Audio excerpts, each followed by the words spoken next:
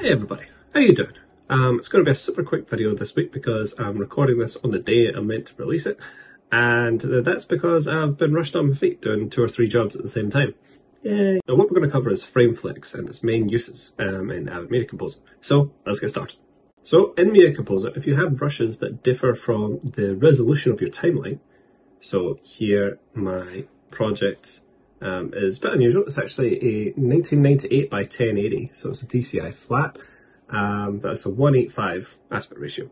Um, but my rushes here are in UHD.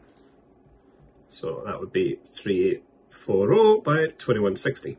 So that's a 16 by 9 aspect ratio. So I'm going to show you how we would format this so that we can start cutting and working with it um, because uh, it's going to be slightly askew, slightly off if we just start throwing it in. Um, so here's one of the clips here, um, but I'm going to close that and uh, grab all of these and we just right click and go source settings. Now this is essentially like opening up the effects controls in Premiere. It's the same kind of idea. Where we can tinker with things like formatting, aspect ratio, squeezing, um, you know, position in the frame, stuff like that. So up here in this area, we've got our controls and information to do with the source clip. Uh, down here, we've got more uh, controls to do with how we can alter the clip and make it fit within our project frame. And then over to the right, we've got two viewers. Uh, the top one is the source clip.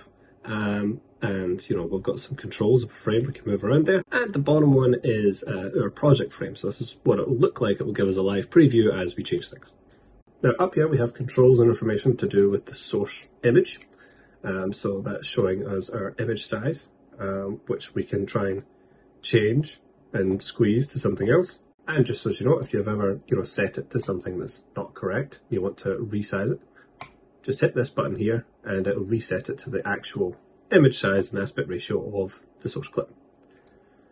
You can try changing the aspect ratio, uh, like so.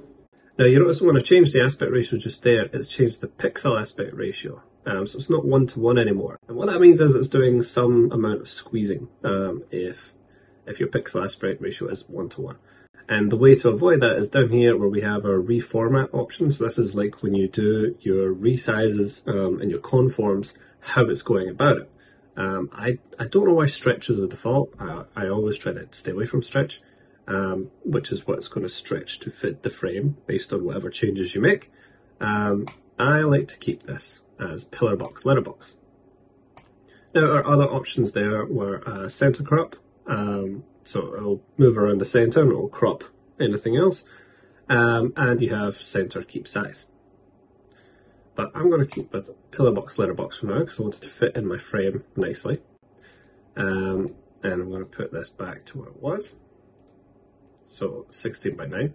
Now, I had mentioned before that my project is 185. So how I'm going to get this to fit properly to a degree within my uh, project um, is to change my frame aspect ratio to 185. Now you notice there that when I change my frame aspect ratio, so this is the aspect ratio that I'm working with, that I want on my timeline, to 185, this bounding box that is around our source clip frame uh, shortened a little bit. And so that's, it's basically changing the aspect ratio of this box to, to reflect what we're working with. Um, now, because our source clip is 16 by 9 and we want to work with uh, 185 and we don't want any stretching, then this is the frame that we have to work with, with those one-to-one -one pixels. Um, now we can move this frame, like if you want to get the absolute bottom in there or the absolute top, but for now I'm just going to leave it centered because we're not really losing much. And then once I hit apply down here, I'm actually going to hit apply to all, so it applies to all the clips in that bin. That will be my frame. So this is the part of the frame that will show up whenever I'm using it in any of my monitors. Um, you know, we have, we have it reformatted to fit within this raster now, and we're all hunky-dory. Now at this point, I'm going to say that is the primary purpose of FrameFlex. It is to conform shots uh, to the correct sizing and shape uh, to fit within your project um, raster dimensions that you're working with.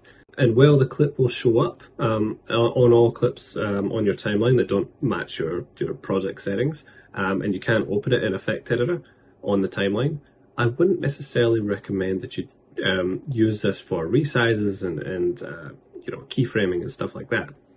You can do it. You know, it'll let you add keyframes here Um, and you know, like like I could add a keyframe there, and add another one there, and then for the end keyframe, I could, you know, zoom in a bit on him. Um, and then when I come out of there, we're going to get a, a zoom in across the shot. And it's going to get a bit tighter on his face. Now that may be hard to see because the shot is kind of handheld and moving around, but there is there is a zoom in happening across that shot there. But the reason why I definitely wouldn't recommend you do this is because um, unlike 3D warp and uh, the resize effect, stuff like that, um, frame flex adjustments don't necessarily come across in AAFs when you send it online. Um, so when you send it to online, those resizes and stuff that you've made on the timeline uh, won't uh, won't necessarily show up, and you're going to have to make make sure and, and trust that your online guys will recreate them exactly as you've made it in the edit. Now you may be wondering why I'm actually bringing up this effect at all if I, I don't want you to use it. And that is because the advantage that this effect has over 3D warp and resize and things like that is that it utilizes the entire resolution. So what that means is that if you're doing a resize on a shot, say to frame out a boom mic, um, you wouldn't see any resolution drop um, on if you're using FrameFlex to do the zoom in on like say a 4K shot on a 1080p timeline um, and you're just zooming in a little bit to reframe out the boom. Whereas if you use 3D Warp to do your zoom in, um, you might get a bit of pixelation and that is because it's reading a, like a 1080p preview of the clip and zooming in on that. But I would still recommend you, you use the 3D warp for the purposes of your edit and just know that in online it, it, you have the resolution there and it'll look a bit better. Also, just as a side note, just because you have four times the resolution in 4K, it does not mean that you can zoom in four times. Um, I generally stick to a, a rule of about 20%. Um, so I will zoom in and, and reframe stuff if I have to. Um, you know, don't do it willy nilly. You don't don't want to disrespect your cinematographer but uh, I'll zoom in at about uh, 20% as a maximum um, to, to reframe and to frame out booms or stuff like that.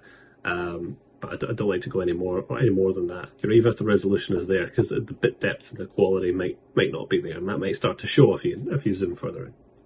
Uh, now, one last thing I'll add to this is that if you have to adjust your frame flex um, in in the bin, you know, say you haven't done the conform right, and, and they want these to be zoomed in, like all of them to a certain level or reframed differently, and so you make your adjustments in the bin.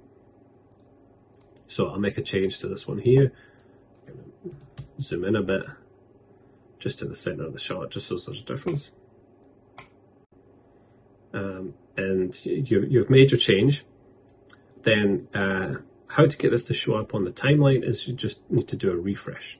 So right click on your sequence, come down here to refresh sequence. Um, and then there's all these different elements that you can refresh if you only want to tinker with one thing. Um, but most of the time I'm refreshing everything when I do this. I'll just hit all and we see the zoom in take effect there. So yeah, that's just something to bear in mind. Uh, well, FrameFlex is one effect that's, that's, sort of always available to any shots where the resolution doesn't match your timeline. Um, uh, applying that effect in the bin um, and applying in the sequence, um, they, they are a bit different and they do take effect at different times. So you want to do all your conforms first before, as you ingest, like right after ingesting your shots, um, bef- before you start putting it onto sequences and get it right there. And if you need to make adjustments later, just make the adjustment in the bin and then refresh your sequence and it'll take effect. Any, and likewise, any frame flex adjustments that are done on the sequence will only be represented on that sequence. Right, now just to recap everything and to show it in a setting that you're probably more likely to use, I've changed my project here to 1080p, which is the most common uh, resolution of Avid projects around the world. Um, and I've linked in a bunch of Arri test footage, which conveniently comes a whole bunch of different uh, raster dimensions and aspect ratios. So let's pick one that's a bit different here. How about uh, this one here, 2048 by 850, I think that's scope. So if I open up source settings on that one, then you can see it's already done most of the work for me. So it's calculated that it's 2048 by 858, and that's our image size. Uh, aspect ratio of that is 239, it's telling me. Um, it's saying it's, it's currently 1 to 1 pixel ratio, so it's not reformatting anything. And it's giving me a 239 frame to work with um, to put into the project. Um, so at the moment it's stretching that to fit in the actual project sequence framing.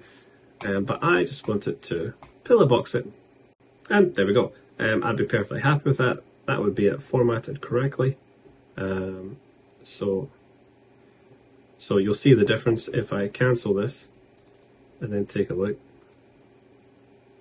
This is a little bit stretched. Whereas if I apply the change that I was about to do there, so pillar box, apply, okay, that looks much better. So that's more correctly formatted with one-to-one pixels, um, and I'd be ready to use that in a 1080p timeline. Right, uh, what about one uh, like this, 2880 by 2160? So take a look at this one in here. So that's a 4 by 3 frame um, at what looks like, you know, a bit under 4K. Don't know if that's like, this is, this is about 3K, I think. Um, so we've got plenty of resolution to work with here um, and we're on a 1080p timeline. So the two ways that you could deal with this is firstly to just do what we did before, no pillar box, letterbox.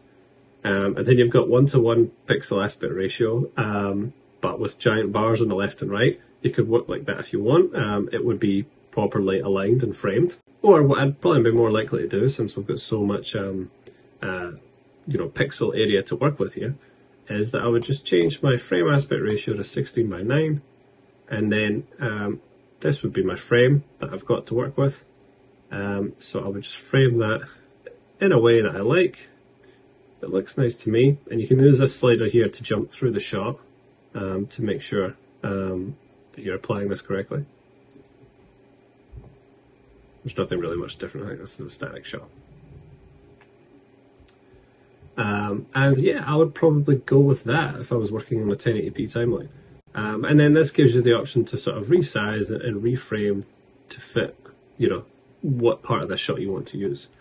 So yeah, FrameFlex is, is a really useful tool for conforming shots and getting them to fit in the uh, raster dimensions that we're working with in our project. So bear in mind that the primary use for this is working in a project with material that differs from the resolution settings that you have, or if you're working with a bunch of different footage that where the resolution varies um, you know, and you want to conform it all correctly to fit within your um, timeline.